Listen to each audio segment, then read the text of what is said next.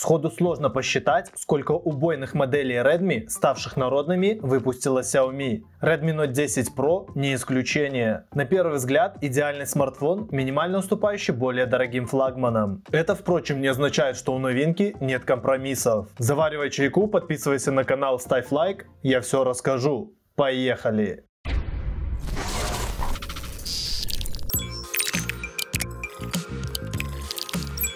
В коробке привычный для Redmi набор из самого смартфона, защитного чехла, кабеля USB Type-C, а также бумажек, скрепки и блока питания на 33 Вт. Чехол силиконовый, не полностью прозрачный, а словно повторяя поверхность корпуса самого телефона, слегка матовый. Смартфон в нем становится совсем не скользкий и имеет отличное сцепление с рукой. Есть и выступ, который при падении защитит блок с камерами. Разъем для зарядки прикрыт силиконовой заглушкой и скорее всего быстро оторвется, но все равно приятно такое внимание производителя к мелочам. Чехол и впрямь хорошо сидит на Redmi Note 10 Pro.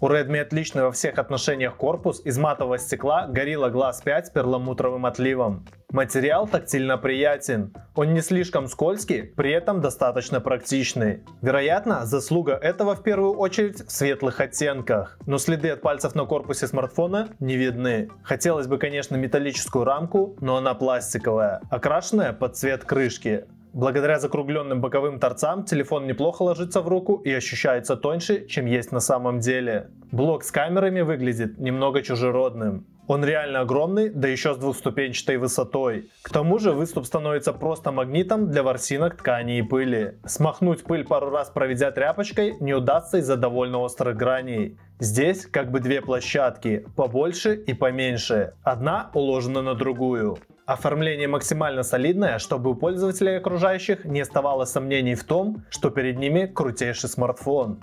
Правда, из всего этого изобилия востребованными можно назвать только две камеры. По разъемам ситуация стандартная. На нижнем торце микрофон, динамик и USB Type-C. На верхнем решетка под второй стереодинамик, аудиоразъем, второй микрофон и ИК-порт. Слева мы видим слот для карты памяти и двух симок, а справа кнопка громкости и включения. Последнюю встроен сканер отпечатков пальцев, хотя с виду этого и не скажешь. Обычно такие кнопки слегка углублены в корпус. Здесь же клавиша наоборот, немного выступает. Углубление получается, если поместить телефон в комплектный чехол. Дактилоскопический датчик срабатывает моментально и без ошибок. Звуки с динамиков громкие, но плосковатые. Басистой глубины здесь все же не хватает. Также заявлена влагозащита по стандарту IP53, то есть по сути защита от дождя. А еще производитель не забыл об ИК-передатчике для управления различной домашней техникой. Заводскую пленку можно не снимать пару месяцев.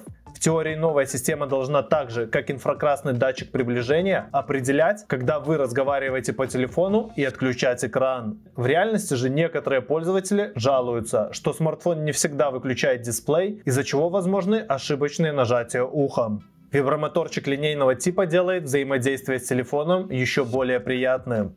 Перед нами красивый и практичный смартфон. Даже если присматриваться к деталям, сложно будет найти какие-то недочеты сборки.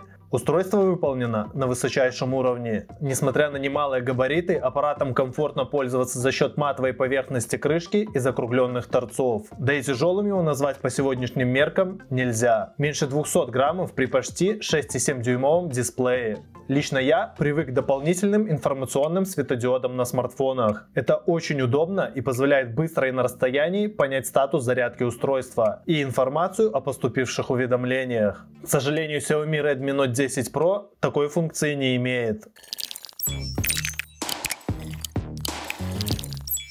Экран Redmi Note 10 Pro – это одно из его главных достоинств. Если уж такие матрицы попадаются в смартфонах среднего ценового сегмента, то вопрос о необходимости флагманов становится как никогда острым.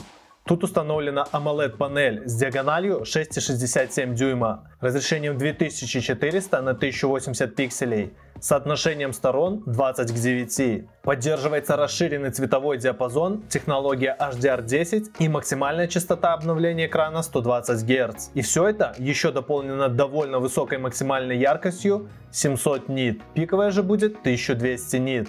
Дисплей на практике очень яркий и демонстрирует отличную картинку с широкими углами обзора. О необходимости 120 Гц можно спорить, но это действительно кайф. AMOLED-экраны позволяют реализовать функцию Always On Display, но производитель не стал ее добавлять в Note 10 Pro. Вместо этого присутствует некоторый аналог, называемый активный экран. Отличие от Always On Display в том, что элемент появляется всего на 10 секунд. Имеется режим для чтения, можно корректировать цветовую температуру, регулировать насыщенность. В общем, довольно стандартный современный набор хорошего качества.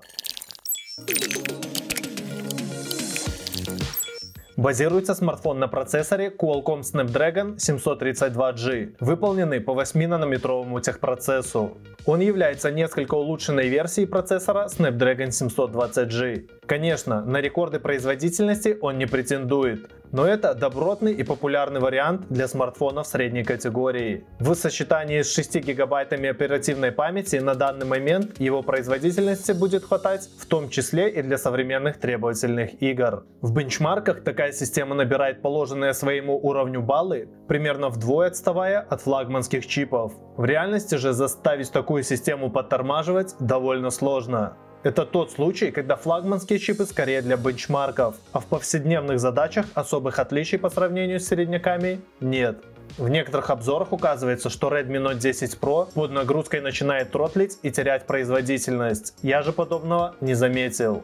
Игры можно добавлять в специальный ускоритель игр. При этом происходит некоторая оптимизация ресурсов смартфона, что теоретически способно улучшить игровой процесс. При продолжительном использовании под нагрузкой в играх температура процессора доходит примерно до 60 градусов Цельсия, но зачастую была еще и ниже. Это вполне приемлемое значение. Чувствовалось, что корпус нагревается, но не скажу, что он становится горячим. Никакого дискомфорта это по сути не доставляет. Во время зарядки батарея батарея не нагревалась даже до 40 градусов Цельсия. Это судя по показателям датчика.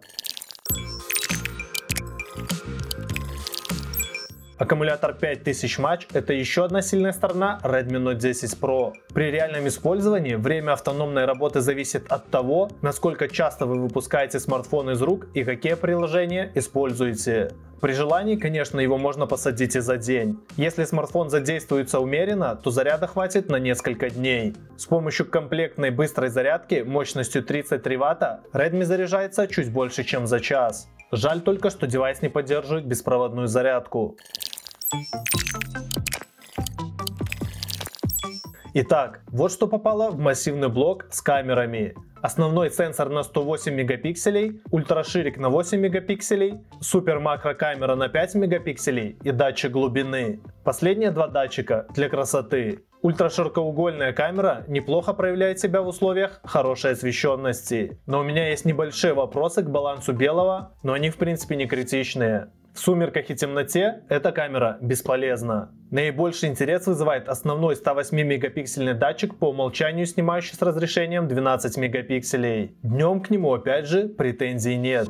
Зумом ситуация следующая. При хорошем освещении намного больше деталей дает кроп 108 мегапикселей. Вечером про 108 мегапикселей лучше забыть и пользоваться ночным режимом. Звезд неба в буквальном и переносном смысле смартфон не хватает. Но есть ощущение, что виной всему сыроватый софт для камеры. Redmi Note 10 Pro во многом выдающийся смартфон, но это не камерафон. Для своей цены он снимает хорошо, но флагманские устройства сейчас снимают гораздо лучше, особенно ночью и особенно на широкоугольный модуль.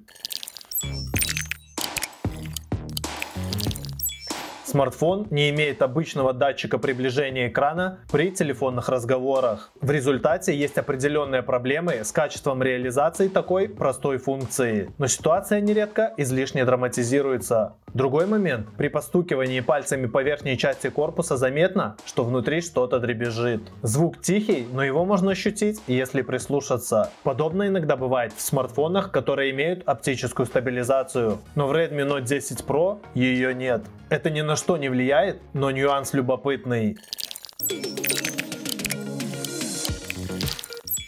Оценивая возможности и особенности Xiaomi Redmi Note 10 Pro, Можно сказать, что компании в очередной раз удалось подготовить очень классную модель среднего класса, которая уже стала очередным хитом. Классный экран, емкая батарея, стереодинамики, стекло на спинке. А еще производитель не забыл и о таких дополнительных бонусах, как радио, ИК-передатчик, 3,5 мм разъем для наушников, полноценный лоток для сим-карты и карты памяти. Есть и некоторые недостатки. Их можно учитывать, но они вряд ли могут повлиять на общую оценку от смартфона. И цена при этом более чем адекватная. Не забудь посмотреть обзоры на не менее интересные Poco X3 Pro и Xiaomi Mi 11 Lite. И напиши в комментарии, какая из новинок Xiaomi тебе импонирует больше.